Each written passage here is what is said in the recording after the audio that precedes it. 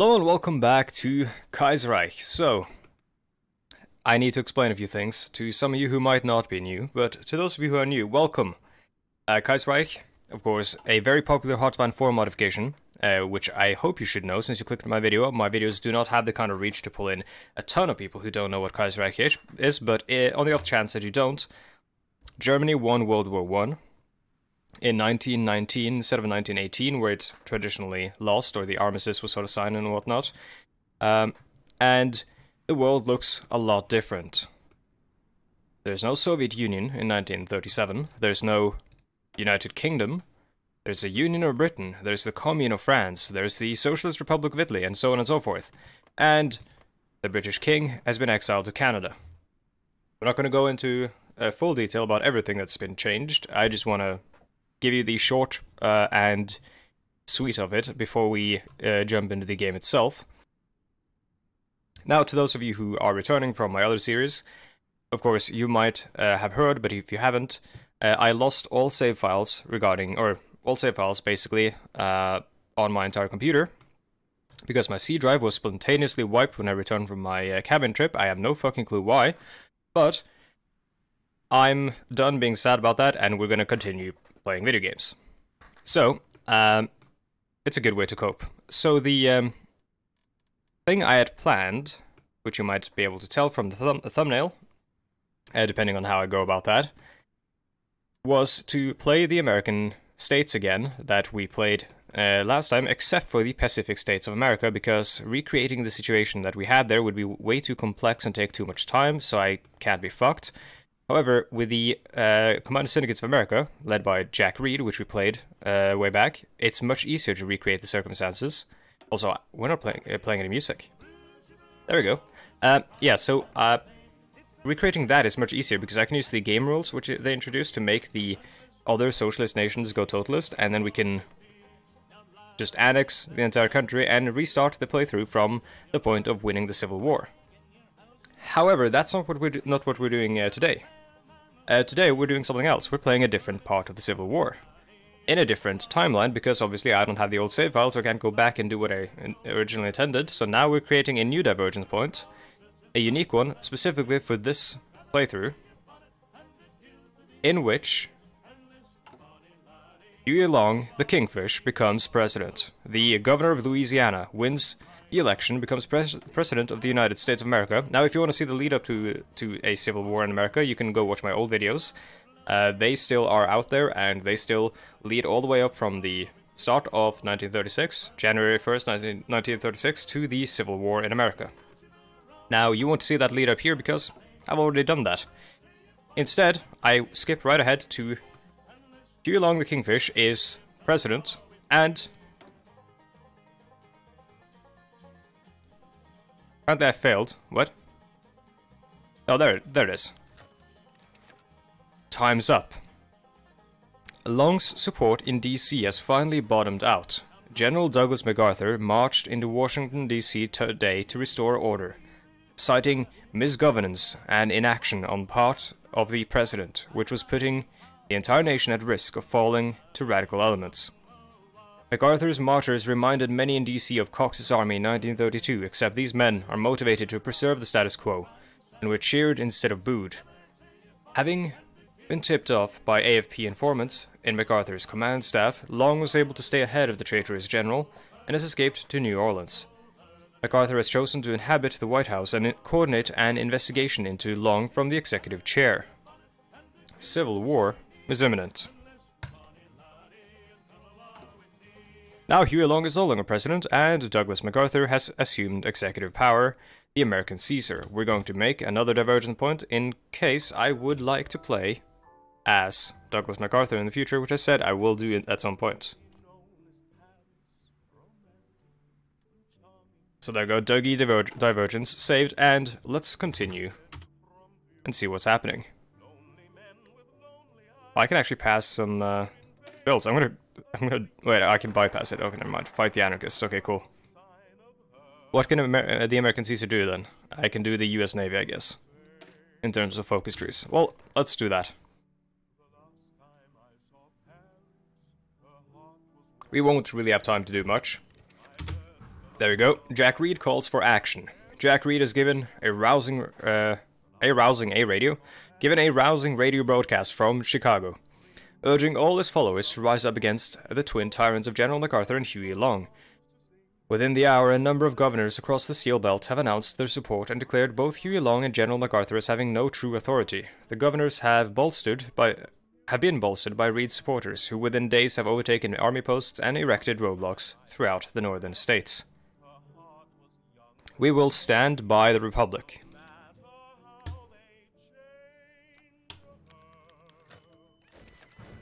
Now, Huey Long declares the American Union State. In a fiery speech in New Orleans, Huey Long has spoken about the need to fight both traitor General MacArthur and pretender Jack Reed. Both are tyrants that need to be toppled, and only the AFP, under the guidance, or his guidance, can uh, cleanse America. He has gained ready listeners among a number of southern governors, all of whom have recognized that they recognize the authority of neither MacArthur nor President Reed. Stand by the country. Play as the AUS. Let's go.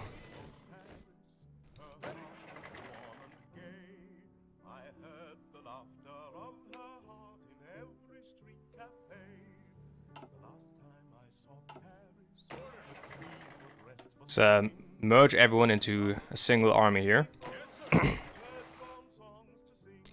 um, that's not right. Hold on.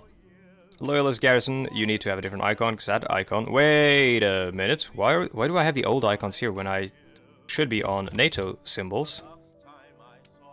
Yeah, I'm, I am on NATO symbols. That's interesting. Um, I'm using the... Well, if, if you can't um, tell, this is not how the game looks normally. Uh, and if you're new to this uh, channel, then please check the mod list in the description down below if you're confused as to why I've got these strange symbols around here. I'll do my best to try to explain them as we uh, go along. But essentially, uh, oh, that's cool, so I guess I get the old symbols as well now. Uh, essentially, these are the NATO uh, standardized symbols for like military uh, military units and divisions and stuff of, of military units. So uh, these guys were garrisons, so that is a G. They're quite weak. That might be too small something like that. I think though that this is a um, a brigade. This is a uh, like this is a brigade, right? I think. So so one is a brigade. This is a corps, and this is an army or a division. Sorry. So this is a uh, loyalist garrison corps, and you're allowed. Let's see if we can find a. I want to find some songs that are very like fitting to the AUS. Yeah, let's have a look at these. Um... Why did... Oh, I may have not changed it, actually. I may not have uh, saved it. I thought I did, though. Let's unpause. Let's uh, have a look at... Also, they're not centered, which they're meant to be. That might be some... There might be something wrong with my mod. I'm not quite sure why. Uh, but yeah, so these... Um, we had Minutemen infantry, those with his uh, uh, like longs paramilitary, uh, which he used during the lead up to uh, the revolution going on right now. I'm going to set up the uh, Minutemen as the sort of the backbone of our army. We'll actually just call them the Minutemen. And they will be led by, who will lead the Minutemen? We've got, oh, we've got a bunch of uh, great generals actually. We've got um, uh, Hicks Hodges uh, as uh, panzer leader. We've got Joseph uh, Lawton Collins, who can be a leader for the infantry, I think. William Hood Simpson is also good for the infantry. We've got a bunch of good ta uh, tank leaders, actually, and we've got, of course, George S. Patton as a field marshal, which is amazing. He would be an amazing field marshal for, like, uh, motorized and infant, or sorry, motorized and tank divisions. We've got an artillery specialist, that's awesome as well. He could lead the uh, army itself, and we can do some um, Actually, the, yeah, we, we could do some uh, something cool with um, with uh, with a bunch of artillery in our army. Uh, let's actually set William Hood Simpson to lead. Actually, uh, who who are you? There's a lot of um, inf uh, information on all these guys. West Point, of course. Met George's Patton and George Marshall. George Marshall, of course, is not in our army. I think he's in Reed's army. Or he might be in the uh, the PSA, Pacific States. Uh, Lightning Joe. Lightning Joe, that's a cool name.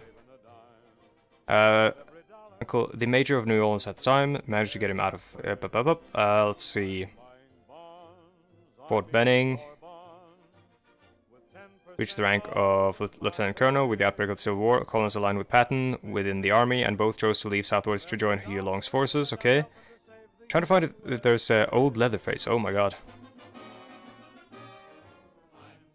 So, uh, aviation division. So this is like a paratrooper guy. Air Corps, yeah. Became chief of pursuit section at uh, at Air Corps Tactical School. Yeah, so this would be a uh, paratrooper uh, leader. Leatherface. Old iron... Okay, old iron tits. Uh... Huh.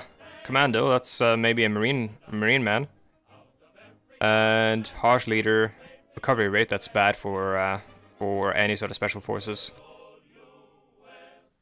Because often they have to take uh, territory and stuff and keep advancing after taking territory, I think. So... So he would be best for someone who's is only uh, like only duties to hold, hold like some uh, some territory and stuff. Um, I think honestly Hood is okay.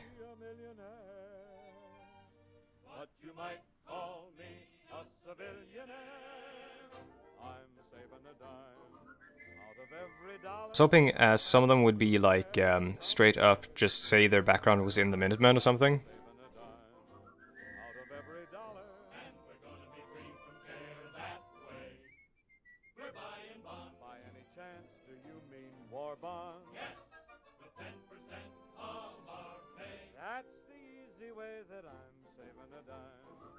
I, I don't know. I, I want to have this guy, Lightning Joe. He, seem, he sounds cool.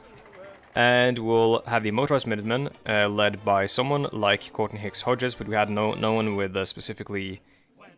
Uh, sorry, specifically... Um, actually, we can maybe do Clifton B. Uh, Cates, because he doesn't have any uh, traits. Oh, he was in the Marine Corps Reserve. Shit, he should probably be a Marine then as well.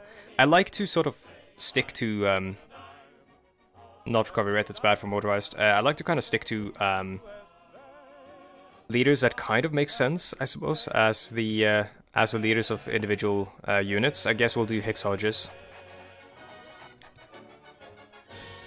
I'm not gonna level him into... Actually, he does have infantry officer. Maybe leveling him into combined arms wouldn't be the worst. I I've heard these songs so many times. If you've heard, um, or if you watched my um, if you watch my uh, other USA videos, uh, you know that I'm... I'm not getting sick and tired of those songs, but I've heard them many times before. Mounted Minutemen, I guess we'll add them to Hodges' army.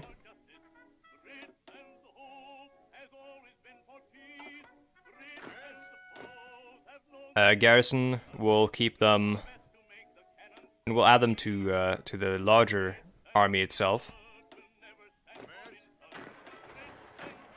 The large army will of course be led by... I mean, Patton is basically the head of our armed forces, I think. Chance to get wounded, army re reassignment. Uh, yeah, he's pretty good. Don't have command power, so I can't really change him around a lot. Artillery specialist is really good though as well, because um, we're going to have artillery in most of our infantry eventually. I'll do Patton for now, and I can split them up later on.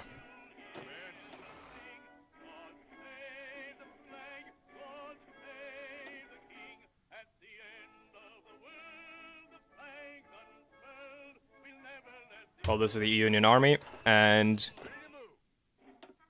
garrison here.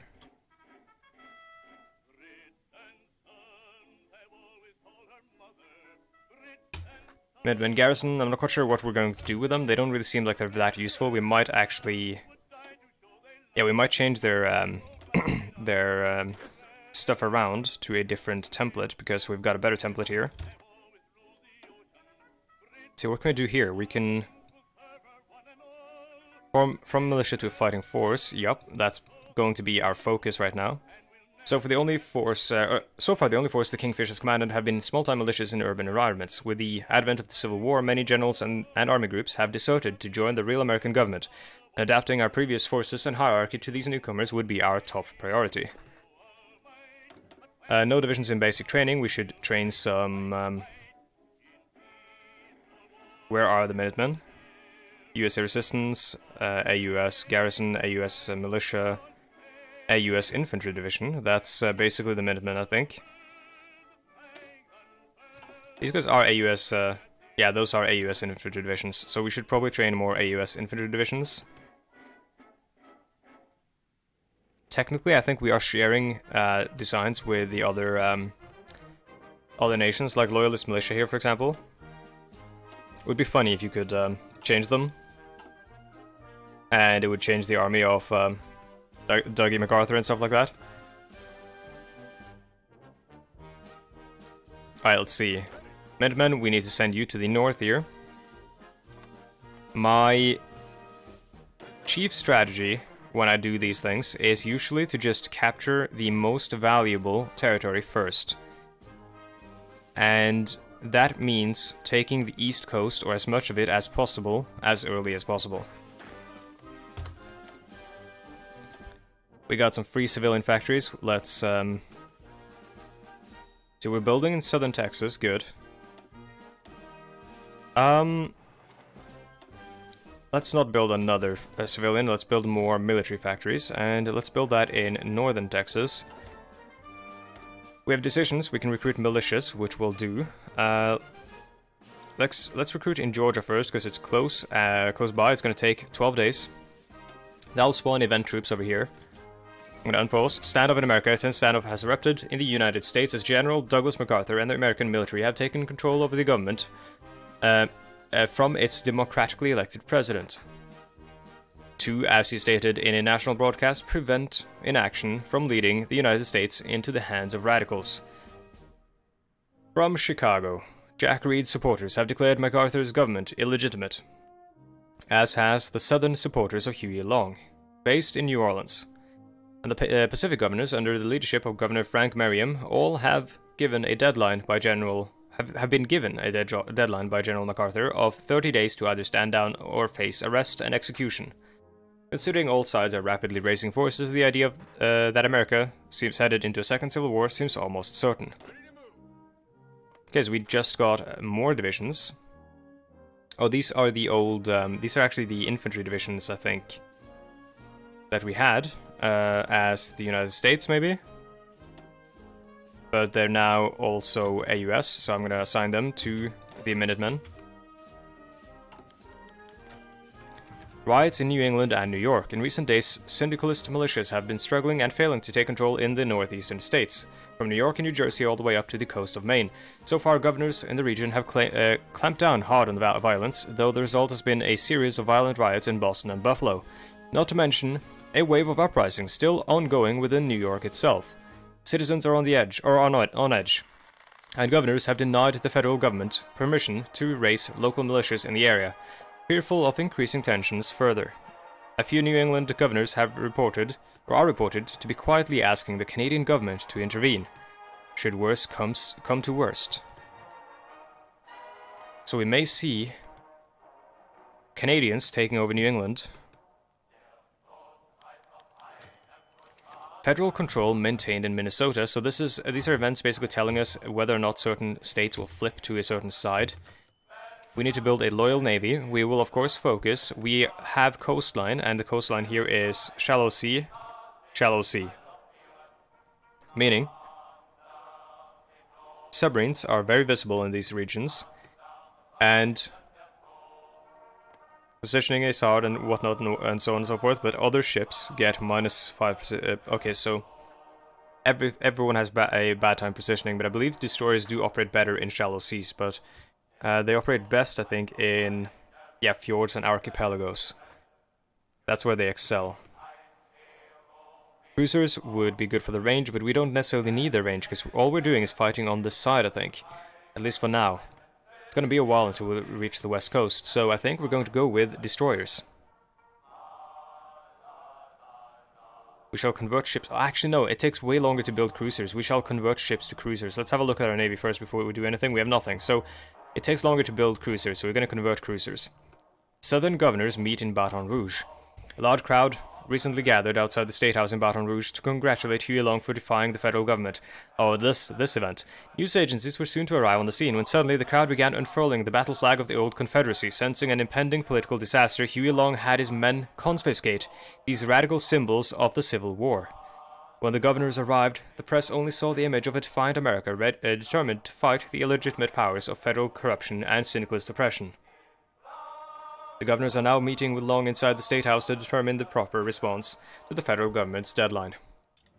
So, uh, Huey Long purposefully tries to avoid imagery of the old Civil War, specif specifically the Confederacy, because such uh, a thing would vilify them, uh, because that is a symbol of a of a um, an insurgent government that fought against the United States, which would be completely counter to the uh, patriotic um, propaganda of the American Union state. North Carolina declares support for Huey Long. We welcome them. We're, we're um, there, there they are. So that basically, yeah, that basically puts them in, under our control. Interesting.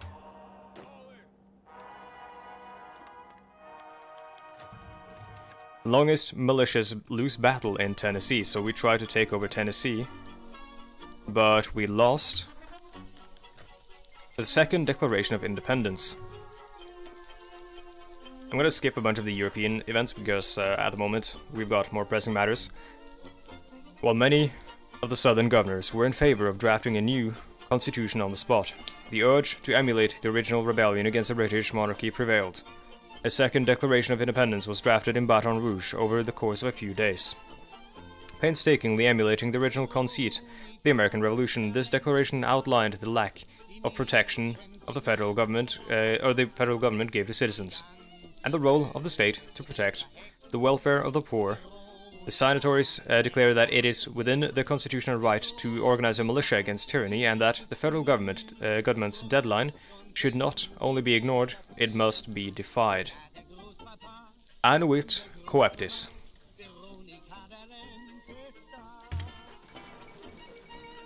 Yeah, so we got the Romanian Civil War as well.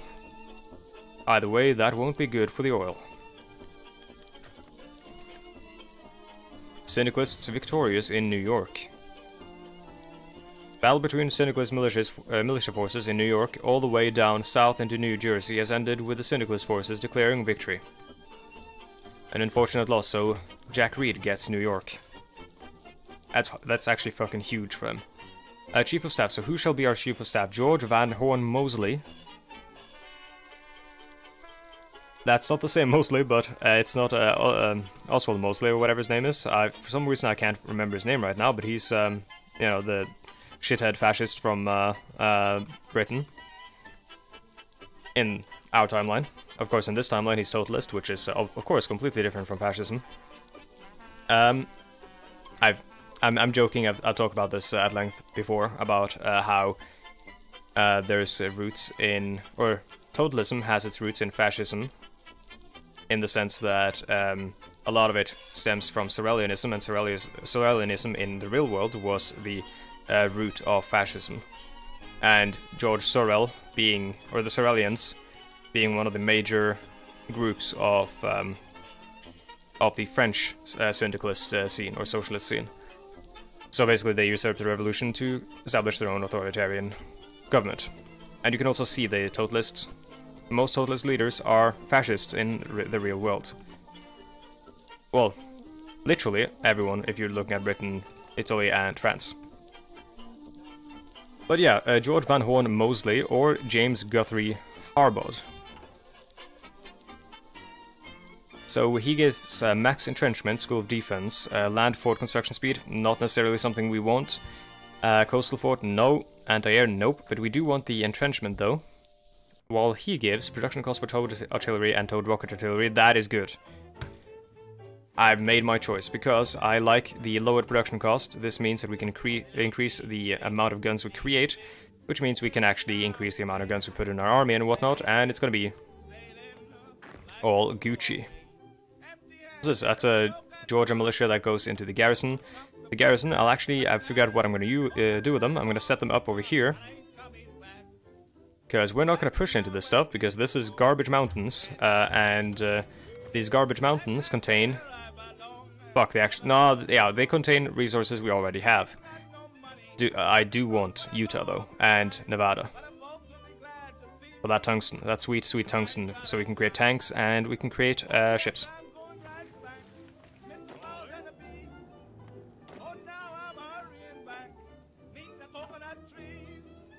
Good song. Uh, so these militias will set them up to be... They will set them up to be a holding division, I think, or holding... Um, uh, sorry, a, like a holding, yeah, holding division. Essentially, their goal is uh, strictly to hold the line against the enemy. And we're going to set them up, I think, something like... That is going to be the preliminary, uh, the pre preliminary front line for them.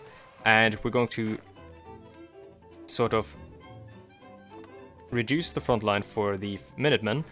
And we're, we're going to set up the Minutemen to push hard against Reed here and we are going to try to just push straight up for New England.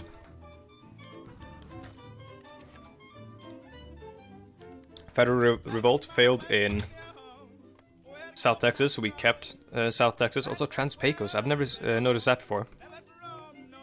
Uh, the American Union State in our state Congress convenes. Though, or through the grapevine, dozens of congressmen have heard of Huey Long's assembly in Baton Rouge, some came to visit, wish uh, Long well and stayed, others simply to court favor with the revolution. These meetings in Baton Rouge began to take on the congressional appearance, with Coughlin, oh my god, standing as the president of the attending senators. Fucking hell. Why do you choose him? Aware of the growing determination to defy the, the federal government, and that his lack of willingness to negotiate meant civil war was all but certain, a large number of politicians have slinked away to the north, though those that remain seem more determined than ever to see victories victory, sorry. Oh, Chief of Army. Also, we gotta start using the uh, dockyards here. So we got Edwin J uh, Emerson Jr., which decent. Elastic Defense Doctrine. We've got Chief of Army Commando Doctrine, out of supply. Mm. And we've got Mechanized. Uh, uh, so George Smith Patton Jr. No, we're not gonna put Patton on as our chief of army because he's mostly for the armored breakthrough and we're not gonna get that until late, way late in the Civil War. So we're gonna go with Emerson Jr.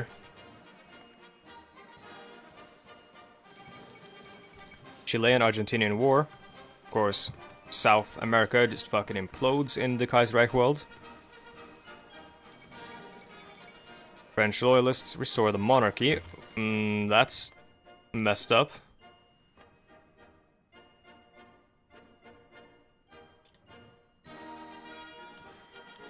Chief of Air Force, we will have... So, Charles Augustus Lindbergh, that's, uh, of course, um, the man whose uh, child was stolen. He's also a very racist man. Uh, if this is Lindbergh Jr. or whatever. Um, so Charles Lindbergh gives uh, interception. So, air superiority is my favorite doctrine.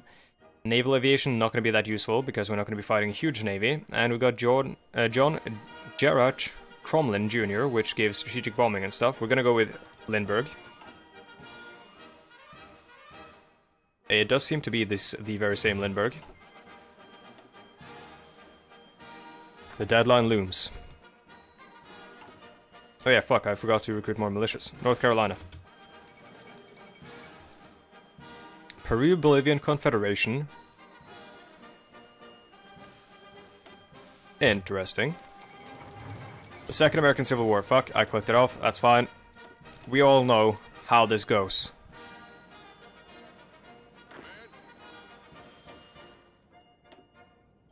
We need some more uh, why do why do the Syndicalists have the best music? What's that song? Uh, like, there's a song that goes like something like, I, I'm not a communist, but the communists have all the good music, or something like that.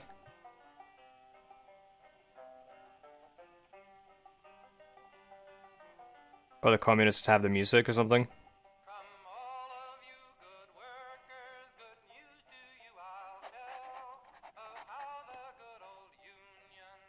You know, since we're... Like, we may as well just push. Here, we're not doing anything else anyways. Why are you not assigned?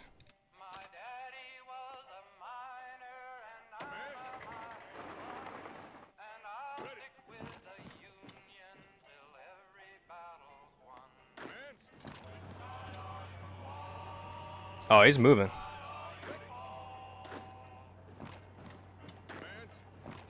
We're gonna encircle that, uh, motorized, I think. It's also enemy aircraft, I think, uh, fucking around in our airspace. Why can you not? Oh no, that's us on uh, pilot exercise. Makes sense. We have a an outrageous amount of oil, so we may as well, but uh, not now, because now we need to fight.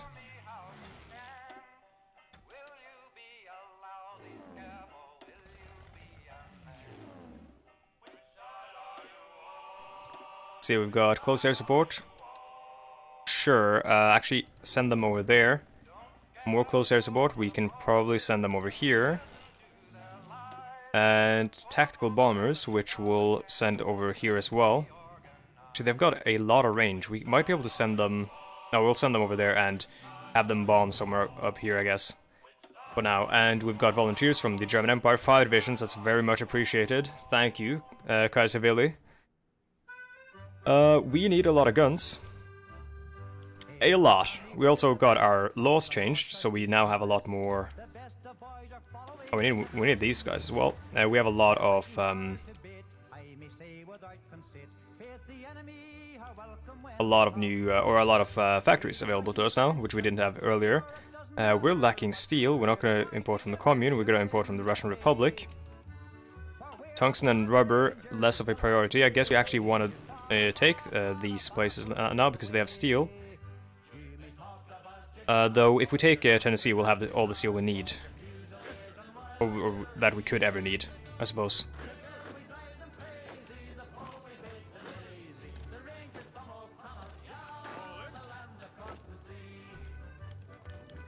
Canada supports the federal government. What the fuck? Ex-British leaders and the entirety of... Yep, yep. So they supported Douglas MacArthur. Or, no, sorry, they supported the Pacific States.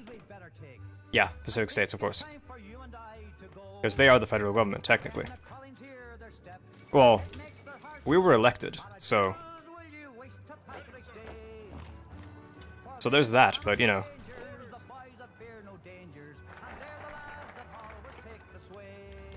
Chief of the Navy, Arthur Lee Willard, or William Frederick Halsey Jr. Uh, Halsey Jr. has naval max range factor, which is really good. Sortie efficiency as well, which is really good. Naval speed and screen attack, which is good, and screen defense. I'm gonna go with um, naval projection doctrine.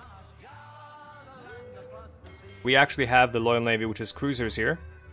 Uh, we need to change the icons. We're gonna change that to... Um, that's a local icon, that's gonna be light cruiser.